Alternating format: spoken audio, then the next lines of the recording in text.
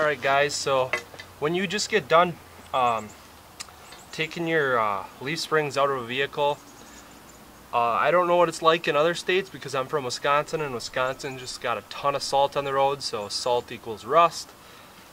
So what happens is when you want to take leaf springs off an old vehicle, they're always rotted in. The bolt is always rotted to that bushing around it, so it doesn't come out. Yeah, you get the nut off and you're like, oh yeah, the bolt will come out. Then you beat it with a hammer, it doesn't move. So you got to torch the bolt off on each side, and then you end up with a big old globbery mess like this. I don't know if you can see it too great, but you understand. So the problem is, like, how do you get it out? You know, some people have presses.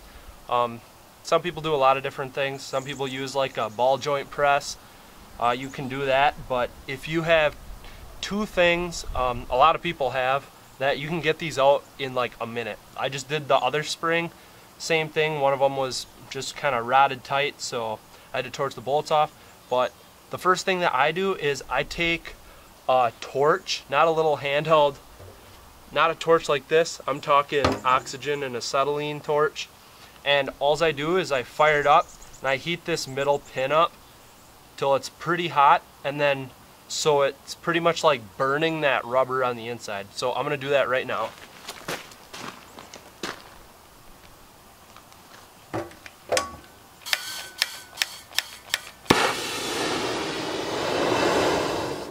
So get your oxygen, set your acetylene till you get the little blue cones.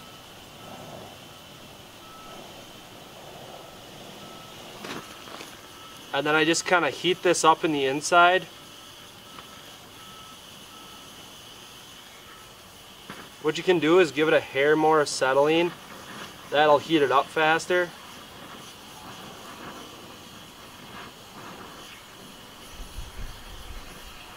Pretty much the goal of this is to get that rubber hot.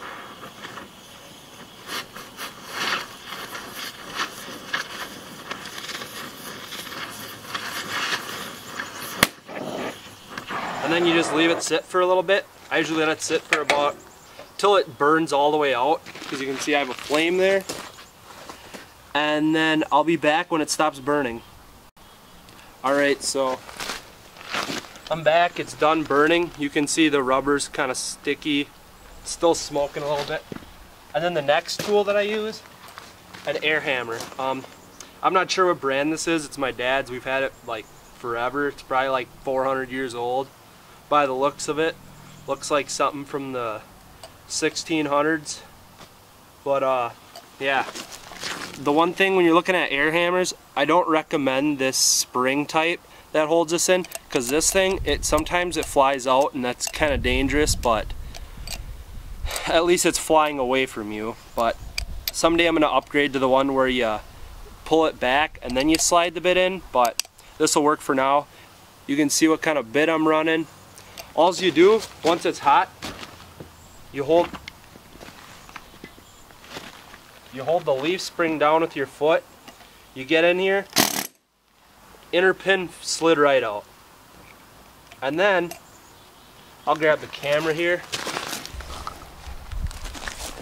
You see how the leaf spring, um, you see how it's got that little part right there where it's kind of open?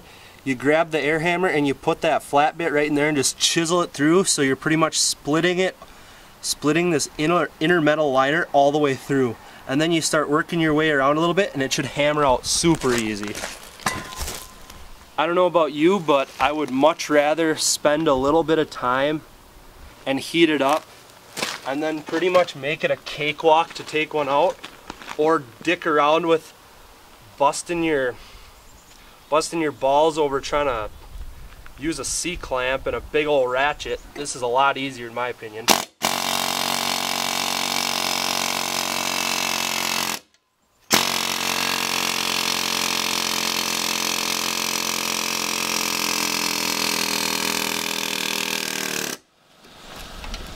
So I got it split all the way through.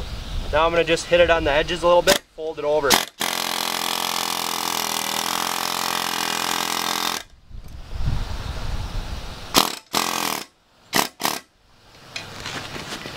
Yeah, then I got it wedged.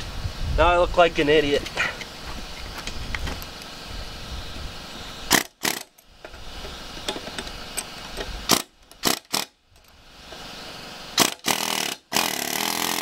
There you go.